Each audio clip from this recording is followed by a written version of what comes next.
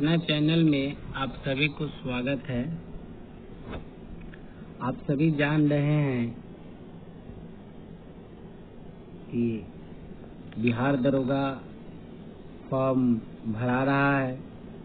हम सभी गरीब छात्रों के लिए यह बहुत सुनहरा अवसर है कि इसमें हम सभी इसका लाभ उठाएँ। साथ ही साथ जो विद्यार्थी किसी भी संस्था में जाने में इच्छुक नहीं हैं, उनकी आर्थिक स्थिति बहुत दयनीय है और यह लॉकडाउन से बहुत परेशान है, उनके पास संसाधन की भी बहुत सारी कमी है। उन लोगों को यह यूट्यूब चैनल सौरभ क्लासेज के माध्यम से आप सभी को किसी भी point history geography polity economic सभी पॉइंट आप लोग को बताया जाएगा। आप इस चैनल के माध्यम से बने रहें। और जो विद्यार्थी अभी तक इस चैनल को सब्सक्राइब नहीं किए हैं, कृपया वह इस चैनल को सब्सक्राइब कर दे लाइक करे शेयर करे, और उन छात्रों तक यह मैसेज पहुंचाइए शेयर कीजिए, जो विद्यार्थी बहुत तरह से परेशानी में है, जिनको सही सामग्री नहीं मिल पाता है और उनकी तैयारी अधूरी रह जाता है और इस वजह से उनका सपना अधूरा रह जाता है। तो उन सपना को पूरा करने का दायित्व हम सभी लोगों को है और इसकी सूचना सभी विद्यार्थियों तक जाना चाहिए। तो हम सब एक दूसरे को हेल्प करें। कहा जाता है, एक प्रार्थना है भगवान हमारा तन मन संसार के लिए हो, यह ज़िंदगी हो लेकिन उपकार के लिए हो। यह मानव में हम लोग को एक दूसरे को हेल्प करना ही है और यह बहुत ज़रूरी भी है। तो चलिए समय को देखते हुए आज हम शुरू कर रहे हैं आप लोग का एंशियंट हिस्ट्री एंशियंट हिस्ट्री में एंशियंट हिस्ट्री शुरू कर रहे हैं, जिसको बोलते हैं हम लोग प्राचीन भारत। प्राचीन भारत में शुरू कर रहे हैं पाषाण काल। टॉपिक है आपका पाषाण काल। पाषाण काल को तीन भागों में बांटा गया है। कितने भागों में बांटा गया है? तीन भागों में पूरा पाषाण काल, मध्य पाषाण काल तथा नव पाषाण काल। ये तीन भागों में उनको बांटा गया है। पूरा पाषाण काल में मनुष्य की जीविका का मुख्य आधार जो था, शिकार था। कहने का अर्थ यह है, जो मनुष्य जो थे, वो अपना जीविका चलाने के लिए, जीवन चलाने के लिए वो शिकार पे आश्रित थे। और शिकार करके वो अपना भोजन प्राप्त करते थे और अपना जीवन यापन करते थे। इस काल को आखेटक तथा तथा खाद संग्रह काल भी कहा जाता है। आखेटक तथा खाद संग्रह भी कहा जाता है। लगभग छत्तीस सौ ईसा पूर्व में आधुनिक मानव पहली बार अस्तित्व में है। मतलब मॉडर्न ह्यूमन जो लगभग छत्तीस हज़ार ईसा पूर्व में अस्तित्व में आया। आधुनिक मानव को ही हम लोग होमोसेपियंस कहते क्या कहते हैं? होमोसेपियंस भी कहा जाता है। आधुनिक मानव को ही हम लोग होमोसेपियंस भी कहते हैं। ठीक है? नेक्स्ट ध्यान दीजिए अब। होमोसेपियंस कहा जाता है। अगर आगे पॉइंट देखिएगा।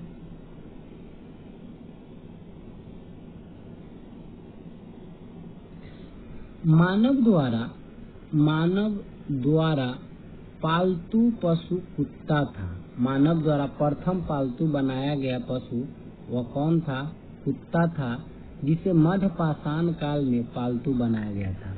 किस काल में बनाया गया था? मध्य पाषाण काल में बनाया गया था। आग की जानकारी मानव को पूरा पाषाण काल से ही था। आग की जो जानकारी था, वह मानव को पूरा पाषाण काल से ही था। किंतु इसका प्रयोग नवपाषाण काल से प्रारंभ हो गया था। नवपाषाण काल से प्रारंभ हो गया था। उसके बाद है आगे। अगला नेक्स्ट पॉइंट ध्यान दीजिए। आगे नेक्स्ट पॉइंट है आपका कि नवपाषाण काल से मानव ने कृषि कार्य मानव ने कृषि कार्य प्रारंभ किया, जिसमें, जिससे उसमें अस्थायी निवास की प्रवृत्ति विकसित हो गया। नव पाषाण काल आते आते मानव एक जगह अस्थायी निवास करने लगे और वह कृषि पर आश्रित होने लगे। कृषि का ज्ञान उन लोगों को नव पाषाण काल से प्रारंभ हो जाता है। धीरे धीरे वो अपना स्थानीय निवासी मतलब घर, एक जगह रहने की उनमें आदत हो जाती है और वे अपना कृषि कार्य में लग जाते हैं। नेक्स्ट है, भारत में पाषाणिक पाषाणिक कालीन सभ्यता का अनुसंसाधन सर्वप्रथम रॉबर्ट बुश फूट ने अठारह ईस्वी में आरंभ किए थे। कब किए थे? अठारह ईस्वी में। भारत में व्यवस्थित कृषि का पहला साक्ष्य मेहरगढ़ से प्राप्त होता है। व्यवस्थित मतलब व्यवस्थित ढंग से खेती करने का भी परंपरा शुरू हो गया था यह कब हो गया था तो यह पाषाणी काल में हुआ था, और इसका जो साक्ष्य प्रमाणित जो किया गया था, वह मेहरगढ़ से किया गया था। बिहार में चिरांद नामक नव पाषाणी कालीन स्थल से हड्डी के औज़ार मिले। किस चीज़ के? हड्डी के औज़ार मिले हैं। पाषाण काल के तीन चरणों का साक्ष्य, बेलन घाटी, साक्ष्य, बेलन घाटी इलाहाबाद से प्राप्त होता है। कहाँ से होता है? इलाहाबाद से प्राप्त होता है। औजारों में प्रचुर की जाने का पहली धातु मतलब प्रयुक्त की जाने वाली पहली धातु जो था, वह तांबा था। कौन था? तांबा थी। इस धातु का ज्ञान मनुष्य को सर्वप्रथम हुआ था। चावल की खेती का प्राचीनतम साक्ष्य साक्ष्य जो था, वो लोहार देवा या लहुरा देवा से पाया गया था। जो कब पाया गया था? आठ हज़ार ईसा पूर्व में पाया गया था। और पहिए का आविष्कार नवपाषाण काल से ही प्रारंभ हो गया था। पहिए का आविष्कार। तो इस तरह से पॉइंट को हम लोग एकदम वन लाइनर पॉइंट आपको कंसेप्ट समझाया जा रहा है। आप घबराए नहीं और इस चैनल के माध्यम से बने रहे। ठीक? अब हम आप लोग को बता रहे हैं पाषाण काल के कुछ स्थल। ठीक है, इसको आप अच्छे से देखिएगा और समझिएगा भी। ये आपको बहुत ज़रूरी है। ध्यान दीजिए। संधाब संधाब है, यहाँ पर देख रहे हैं। उसके बाद चाली गाय है, इस्लामाबाद है, मोहम्मद है, क्वेटा है, मेहरगढ़ है, दिल्ली है, चिरांद है, पटना है, भीमबेटका है, गुवाहाटी है, भुवनेश्वर है, नागार्जुन कोंडा है। उसके बाद टेक्टल कोंडा है, ब्रह्मगिरी है, चेन्नई है, कराची है। ठीक है तो ये सब जो स्थल जितने सब देख रहे हैं, आपको मैप सामने रखे और मैप के सहारे से भी पढ़िएगा, सेल्फ स्टडी कीजिएगा घर में। या पाषाण काल स्थल है। कौन स्थल है? पाषाण काल स्थल है। ठीक है, ध्यान दीजिएगा। यहाँ पर जो आप देख रहे हैं, यह तीर का जो निशान है ये वर्तमान में यह वर्तमान में स्थल है। क्या है?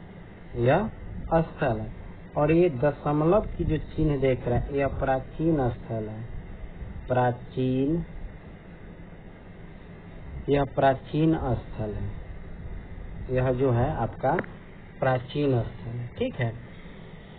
यह आपका प्राचीन स्थल है दशमलव वाले यानी एंशियंट पीरियड का यह सब जगह है, और जो ट्रैंग, त्रिभुज जो बना हुआ है, ये आपका वर्तमान स्थल है, ठीक? तो इस तरह से आपका ये मैप दिया हुआ है। चलिए, अब नेक्स्ट क्वेश्चन किधर हम पॉइंट किधर चल रहे हैं।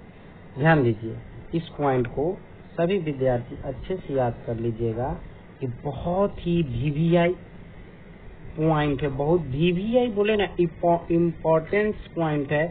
कोई ऐसा एग्ज़ाम नहीं है जिसमें यह क्वेश्चन आपसे नहीं पूछा जाएगा। सिंधु घाटी सभ्यता हड़प्पा सभ्यता।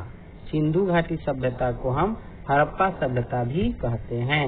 सिंधु घाटी सभ्यता के प्रमुख स्थल, उत्खननकर्ता, नदी, वर्तमान की स्थिति एवं प्राप्त महत्वपूर्ण साक्ष्य। तो ध्यान दीजिए। प्रमुख स्थल, हरप्पा। हरप्पा का उत्खनन जो था, वह दयाराम सहनी, दयाराम सोहनी एवं मधु स्वरूप वतस ने किए थे। कब किए थे? तो उन्नीस सौ इक्कीस ईस्वी में किए थे। किस नदी के किनारे? तो रावी नदी के किनारे किए थे। किस नदी के किनारे? रावी नदी के किनारे किए थे। वर्तमान स्थिति मतलब यह वर्तमान में जो है पाकिस्तान के मांटो गुमरी जिला में। कहा है?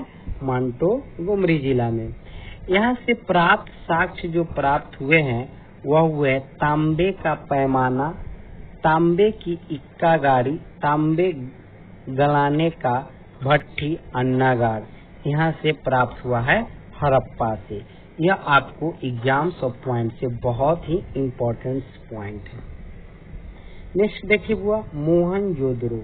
मोहन जोदड़ो का जो उत्खनन करवाए थे, वह करवाए थे राखल दास बनर्जी। कब करवाए थे? 1922 ईस्वी में। किस नदी के किनारे? तो सिंधु नदी के किनारे। और इसका वर्तमान स्थिति जो था, वह पाकिस्तान के सिंध प्रांत का लड़काना जिला से था। किस जिला से था? लड़काना जिला से था। असना नागार अन्ना नागार पुरोहित आवास सभा, भवन कांसे की नर्तकी मूर्ति, पशुपति की मूर्ति, सूती धागा, ये सब जो आपको जो प्राप्त हुआ है, यह आपका प्राप्त हुआ था कहाँ से? कहाँ से प्राप्त हुआ था ये सब आपका?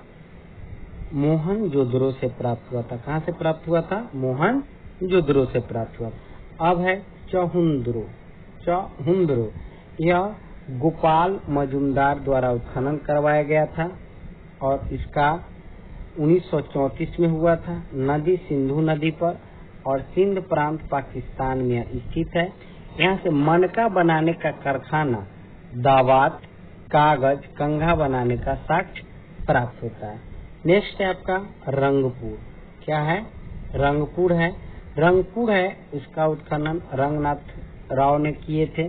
कब किए थे? तो उन्नीस से चौवन ईस्वी में करवाए थे। किस नदी पर? तो मादर नदी पर। गुजरात का कठीवारा जिला में यह स्थित है और यहाँ से चावल की भूसी, चावल की भूसा का साक्ष्य प्रमाणित होता है। उसके बाद है नेक्स्ट आपका हुआ रोपर है। कौन है? रोपर। रोपर का जो खनन करवाए थे, वो यज्ञदत्त शर्मा करवाए थे। उन्नीस से पचपन और यह सतलज नदी पर करवाया गया था। वर्तमान स्थिति जो इसका है, पंजाब के रोपड़ जिला में। कहाँ है? पंजाब के रोपड़ जिला में और यहाँ से मानव के साथ कुत्ते को भी दफनाने का साक्ष्य मिलता है। यानी कहा जाता है कि मानव पहला जो पशु पाला था, वह कुत्ता को पाला गया था और यहाँ से यह साक्ष्य प्रमाणित होता है, यहाँ से यह साक्ष्य प्रमाणित होता है कि मानव के साथ कुत्ते से दफनाने का, यानी मालिक के साथ उसको भी दफना दिया जाता था। और कुत्ता एक बहुत बड़ी वफादारी निभाता है। चलिए ध्यान दीजिए नेक्स्ट पॉइंट है आपका लोथल लोथल लोथल का जो उत्खनन किए थे वह रंगनाथ राव किए थे और यह कब किए थे? 1955 से बासठ ईस्वी में। किस नदी पर किए थे? तो भोगवा नदी पर किए थे। और इसका वर्तमान स्थिति जो है, गुजरात का अहमदाबाद जिला में। कहा है? गुजरात का अहमदाबाद जिला में है। और यहाँ का प्राप्त जो हुआ था, गोदीवारा, युगमती, सावधान, रंगाई के कुंड, हाथी दांत का पैमान प्राप्त किया गया है। अब है कोट दीजी नेक्स्ट है कोट दीजी जिसकी, जिसका उत्खनन करता फजल अहमद है और इस कब किए थे? 1955 में किए थे। किस नदी के किनारे? सिंधु नदी। और सिंध प्रांत का यह खैरपुर स्थान है। सिंध प्रांत का खैरपुर स्थान है। और यहाँ से प्राप्त पत्थर के वान ग्रह प्राप्त किया गया था। नेक्स्ट है वो आपका आलमगीरपुर। आलमगीरपुर के उत्खनन करता यज्ञदत्त शर्मा कब किए थे? उन्नीस में किए थे और हिंडन नदी पर किए थे। कहाँ पर किए थे? हिंडन नदी पर। यह उत्तर प्रदेश का मेरठ जिला में स्थित है। कहाँ है? उत्तर प्रदेश के मेरठ जिला में। यहाँ से सांप तथा रिक्छा की मृन मूर्ति प्राप्त होता है। अब है काली बंगा क्या है? काली बंगा जिसकी उत्खनन करता बीबी लाल एवं बी के थापर ने किए थे उन्नीस सौ इकसठ ईस्वी में। घग्घर नदी के किनारे और यह राजस्थान का श्रीनगर जिला में स्थित है। यहाँ से जोते हुए खेत, अग्नि, वेदिया की पक्की ईंटे अलंकृत और फर्श प्राप्त होता है। ठीक अब नेक्स्ट पॉइंट किधर ध्यान दीजिए हम लोग। नेक्स्ट पॉइंट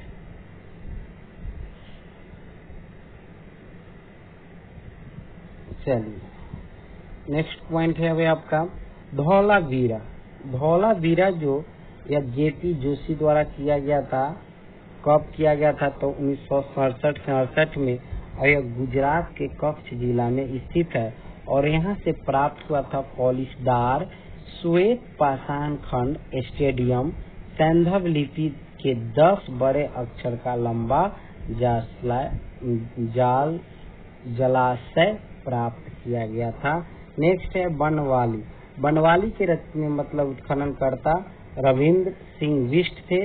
उन्नीस से चौहत्तर ईस्वी में और रंगोई नदी के किनारे किया गया था। कहाँ किया गया था? रंगोई नदी के किनारे किया गया था। कहाँ पर किया गया था? तो रंगोई नदी के किनारे किया गया था। ठीक?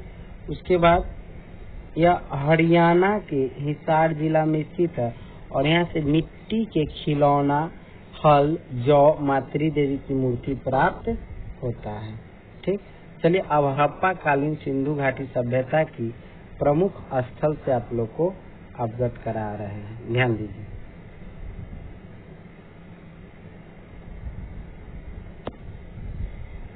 देखिए हड़प्पा कालीन को सिंधु घाटी सभ्यता का संस्कृति प्रमुख स्थल है। यह अफ़गानिस्तान है, ये पाकिस्तान है, ये भारत है। ये लूनी नदी है। कौन नदी है? लूनी नदी ये यमुना नदी है, ये गंगा नदी है, ये काली बंगा है, घग्घर है, रावी नदी है, चिनाब नदी है, झेलम नदी है, सिंधु नदी है, मांडा इस्लामाबाद में है, ब्यास नदी है, रोपर है राखी गड्डी है, मेहरगढ़ है सुचका गेंदोर है धौलावीरा है, सुरकोटदा है, नर्मदा नदी है, अरब सागर है सर। तो ये सब जो है हड़प्पा कालीन का बहुत सारे आपको पॉइंट मिले हैं। ये मोहनजोदड़ो, बालाकोट, अमरी, चहुंद्रो, कोटदीजी, ये सब आपका हड़प्पा कालीन स्थल है और यहाँ पे नदी की भी बात किया गया है। चलिए अब नेक्स्ट पॉइंट हम आप लोग को दिखा रहे हैं। ध्यान दीजिएगा।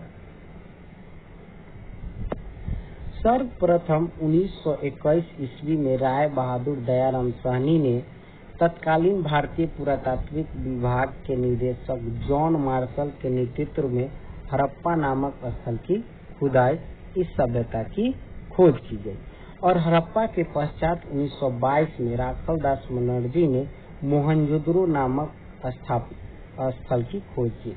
और रेडियो कार्बन सी फोर्टीन विश्लेषण के पद्धति के द्वारा द्वारा सिंधु सभ्यता की सर्वमान्य तिथि 2350 ईसा पूर्व से 1750 ईसा पूर्व मानी गई। कहा गया कार्बन 14 के तहत ही हम किसी समय का निर्धारण करते थे। इसी तरह हम एक सिंधु सभ्यता का समय तिथि की जानकारी किए, जो लगभग 2350 ईसा पूर्व से 1750 ईसा पूर्व मानी गई। नेक्स्ट पॉइंट है आपका। सिंधु सभ्यता के अन्य नदी घाटिया तक विस्तृत स्वरूप का पता चलने के लिए इसे हड़प्पा सभ्यता के नाम से अधिक जाना जाता है और हड़प्पा को इसके नगरीय सभ्यता का प्रथम प्रथम उत्खनन स्थल होने के कारण नामाकरण का यह सम्मान प्राप्त हुआ। भारत में सार्धिक सैंधव स्थल गुजरात में पाया गया है और सिंधु घाटी सभ्यता कांस युगीन सभ्यता थी। मोहनजोदड़ो को मृतकों का टीला भी कहा जाता है। क्या कहा जाता है? मृतकों का टीला भी कहा जाता है और काली बंगा का अर्थ है कि काले रंग की चूड़िया होता है। क्या होता है? काले रंग की चूड़िया होता है। सिंधु सभ्यता की महत्वपूर्ण विशेष स्थल नगर निर्माण योजना का होना था। यह एक सुव्यवस्थित जल निका, निकास प्रणाली है और इस सभ्यता को योजना की प्रमुख विशेषता भी थी। ध्यान दीजिएगा। यह जो आपका है, इसको थोड़ा अच्छा लोग समझने का प्रयास कीजिए। सुतका गेंडोर जो है दास्ता नदी बलूचिस्तान और पाकिस्तान में स्थित है। यहाँ से यह दैमाबाद परवा नदी, गोदावरी नदी, अहमदानगर, महाराष्ट्र में स्थित है और यह उत्तर प्रदेश, आलमगीरपुर, हिंडन नदी, मेरठ में है। यह 1600 किलोमीटर की दूरी पर है, मांडा, जम्मू कश्मीर। चिनाब अखनूर। ठीक, अब नेक्स्ट पॉइंट देखिए, हरप्पा सभ्यता का समाज को हम लोग मातृ सत्तात्मक समाज कहते हैं। कृषि तथा पशुपालन के साथ साथ उद्योग एवं व्यापार अर्थव्यवस्था के मुख्य आधार था। मुख्य आधार था वहाँ का, मुख्य आधार था।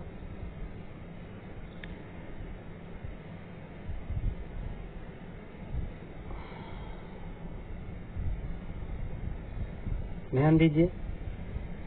मुख्य आधार वहाँ पर का, वहाँ का मुख्य आधार था। हड़प्पा सभ्यता का आर्थिक जीवन मुख्य कृषि पर आधारित थी। विश्व में सर्वप्रथम यहीं के निवासियों ने कपास की खेती के लिए प्रारंभ किया और मेसोपोटामिया में कपास के लिए सिंधु शब्द का प्रयोग किया जाता था। यूनानी ने इसे सिंडन कहा है, जो सिंधु घाटी का सिंधु का ही यूनानी रूपांतरण है। हड़प्पा सभ्यता में अंतरिम, आंतरिक तथा विदेशी विदेशी दोनों प्रकार के व्यापार होता है, वस्तु विनिमय के द्वारा। माप तौल की इकाई संभवतः सोलह के अनुपात में थी। हड़प्पा सभ्यता में प्रशासन संभवतः वणिक वर्ग द्वारा चलाया जाता था। वणिक वर्ग द्वारा। नेक्स्ट ध्यान दीजिएगा पॉइंट। आप लोग यहाँ पर नेक्स्ट पॉइंट पे ध्यान दीजिएगा, विशेष। इस सभ्यता में मातृ देवी की उपासना का प्रमुख स्थान था और साथ ही पशुपति, लिंग, योनि, वृक्षों, पशुओं की भी पूजा किया जाता था। हरप्पा में कुब्बड़ वाला सार का शाब्दिक महत्वपूर्ण पशु था, उसकी पूजा का प्रचलन था। इस काल में मंदिर के अवशेष नहीं प्राप्त हुए। इस सभ्यता के निवासी जो थे मिट्टी के बर्तन के निर्माण मुहरों निर्माण मूर्ति आदि कलाओं में प्रवीण थे। अब चलिए नेक्स्ट पॉइंट देखिए।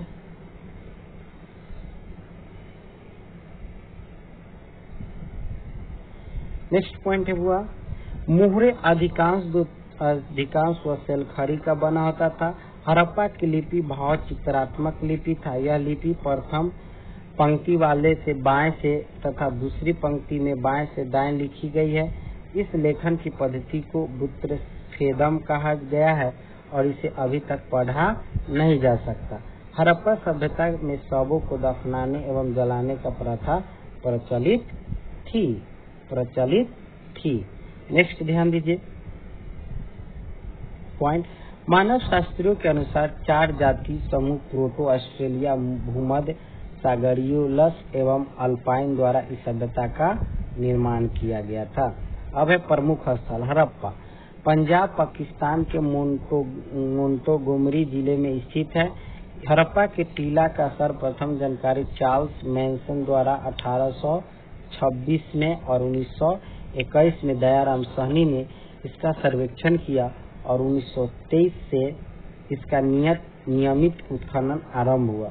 और 1926 में मधु स्वरूप बतस ने 1946 में मांटोमरी हुईलर ने व्यापक स्तर पर उत्खनन कराया।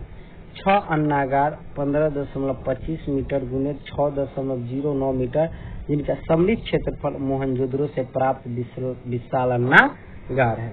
ये सब आपको पॉइंट बहुत ज़रूरी है। श्रमिक आवास, ईंटों के वृत्ताकार चबूतरे जिनका प्रयोग फ़सल को दबाने के लिए किया जाता था। अब है नेक्स्ट आपका मोहनजोदड़ो। मोहनजोदड़ो पॉइंट देखिए।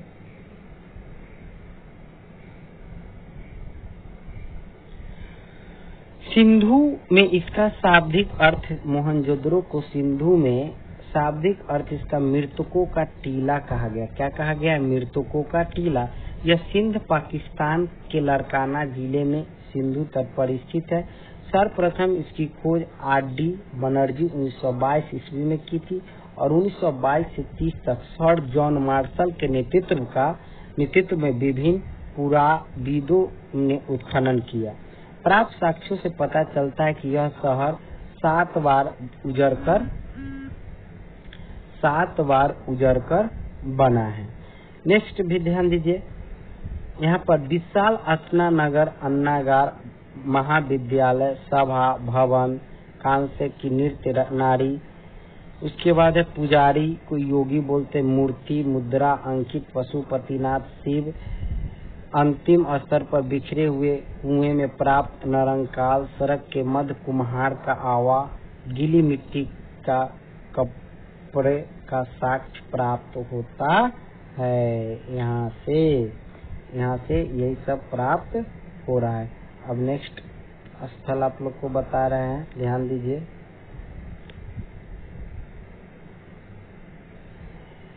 चलिए तो आज तक यहीं पे पॉइंट समाप्त करते हैं। इतना पॉइंट आप लोग घर से याद करके आइएगा। फिर हम आप लोग को नेक्स्ट वीडियो में बचा हुआ पॉइंट है, वो नेक्स्ट वीडियो में अपलोड कर दिया जाएगा। तो आज तक इतना ही। हम लोग बातों को विराम करते हैं। फिर आपको नेक्स्ट वीडियो में मिला